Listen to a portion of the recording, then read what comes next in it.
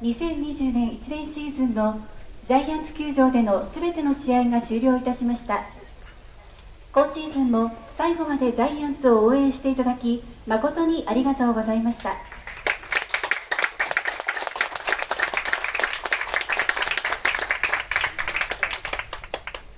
ではここでチームを代表いたしまして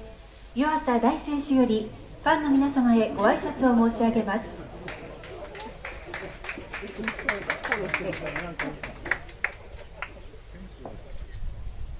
えー、お疲れ様です、えー、まずはじめに1年間5000円ありがとうございました、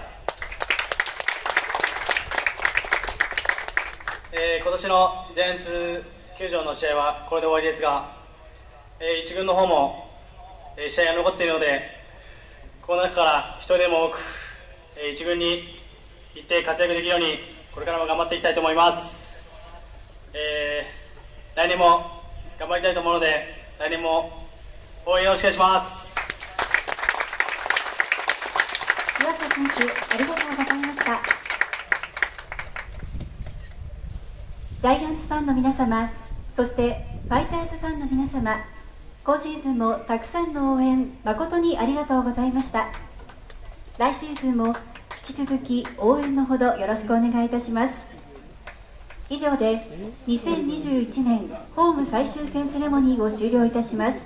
ありがとうございました。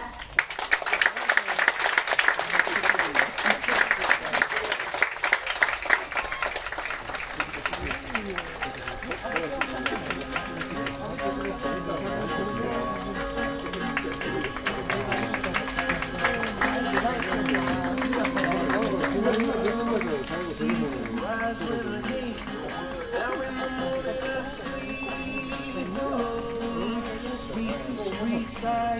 too hot.